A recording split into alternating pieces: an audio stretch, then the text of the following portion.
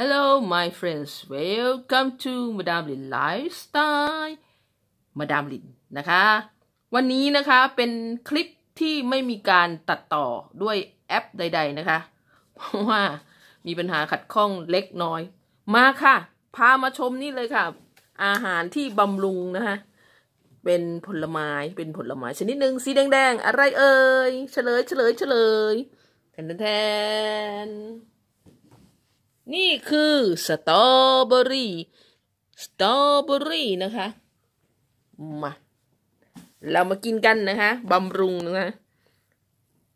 มาดามหนิงก็เอารูปมาวางไว้ตรงกลางเนาะเพราะว่าให้มันเป็นสัญลักษณ์ว่าคลิปนี้ฉันไม่ได้เอาของใครมานะคะ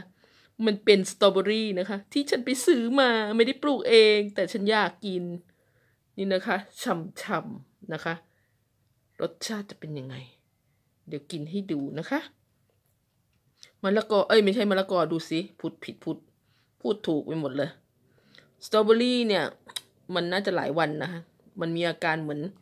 เขาเรียกว่าอะไรนะ งอมอะอาการงอมนะคะนี่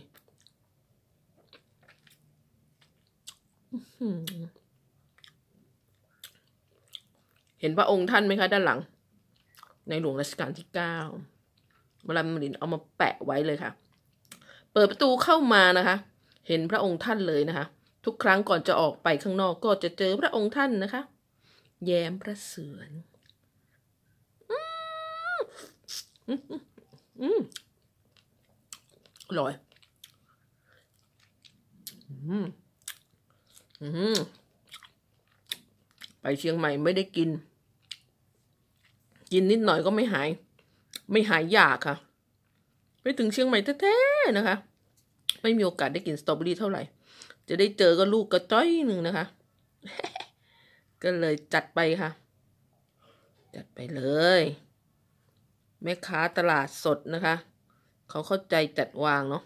เอาใบตองมารองนะคะทำให้มันดูแบบหนาๆเนาะแต่จริง ๆ แล้วอะใส่เข้ามานี่นะคะ กล่องนี้นะสี่สิบบาทเนี่ย ได้อยู่ประมาณสองสี่หกแปด สิบสองลูกค่ะ กินเข้าไปไม่มีพริกเกลือไม่มีอะไรจิ้มอะสดสด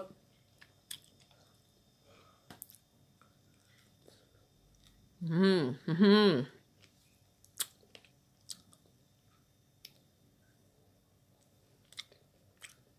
กินต้องระวัง ไปกินกีบเลี้ยงมัน มันจะมีใบเลี้ยงเนาะเป็นแฉกๆอยู่ด้านบนนะคะ ตรงตุ้มบน เนี่ย ต้องเอามือจับจับไว้ให้มั่นนะะเข้าปากแล้วก็กัดกรวบกัดกรวบเลยนะคะ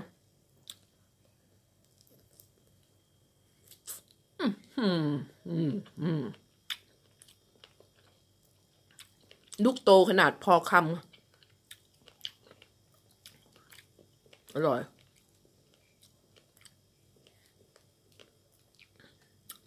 ลไม้ทางเหนือนะคะ จริงๆเช็คใน YouTube นะคะ มีบางช่องเขาทดลองซื้อไหลสตรอเบอรี่เนาะที่มันเป็นหนวดนะคะ เอามาปลูกที่บางอำเภอในจังหวัดศรีสะเกดที่มาดามหลินย้ายชีวิตตัวเองไปทำเกษตรที่นู่นเนี่ย ได้นะดามหลินว่าจะไปดูพื้นที่เขาจริง ๆ ว่าเขาปลูกแล้วแบบจะขอชิมอะถ้ามันอร่อยสู้กับที่เชียงใหม่ได้ เราไม่ต้องไปซื้อที่ไกลแล้วเราก็อุดหนุนเกษตรกรที่จังหวัดศรีสะเกดด้วยกันเลยนะคะนี่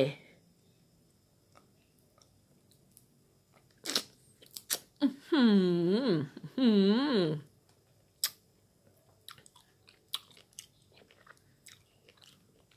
แซ่บอมเปรี้ยวอมหวาน ลูกใหญ่พอคำ นี่จะมีพริกเกลือด้วยนี่ เข้ากันเข้ากันนะคะโอ้สี่นาทีแล้วเหรอ เกรงใจท่านผู้ชมมาดูมาดามหนึ่งกินยั่วๆนะคะอะลูกสุดท้ายส่งท้ายก่อนจะอำลาคลิปนะคะอำเลยนะอืมอืมอืมอืมโอเค สวัสดีปีใหม่ ขอให้ทุกท่านที่ดูคลิปนี้ เฮงๆรวยๆสวยๆ หล่อๆ ทุกคนทำช่องก็ขอให้ประสบความสำเร็จนะคะ อยู่ดีมีแห้งนะคะ รักษาสุขภาพห่างไกลโควิด ออกจากบ้านใส่แมสนะคะ พกเจลล้างมือนะ พยายามล้างมือด้วยสบู่บ่อยๆ นะครับ สบู่ฆ่าเชื้อเนาะ ยี่ห้ออะไรก็ได้ในท้องตลาดไปหาเอาเองนะ แล้วพบกันใหม่ในคลิปหน้า บ๊ายบาย